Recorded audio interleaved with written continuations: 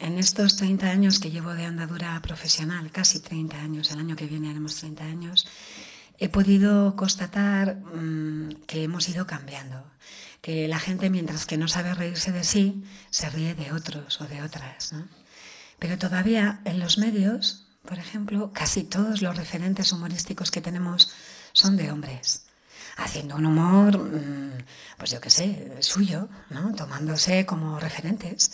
No es que lo hagan a mala leche, es que cada quien se ríe de sí. Y los hombres nos llevan mucha ventaja riéndose de sí. De hecho, les ha dado tiempo a reírse de sí y a reírse de nosotras también, y a reírse de otros colectivos vulnerables. Y entonces ahora las mujeres hemos ido entrando en el humor. Uh, yo quiero creer que hay muchas payasas y muchas cómicas maravillosas en la actualidad que lo son porque se formaron conmigo, porque me vieron como referente y porque hemos ido, algunas hemos ido descubriendo genealogía, las había antes, las ha habido siempre, mujeres cómicas, humoristas, transgresoras, estéticamente divergentes.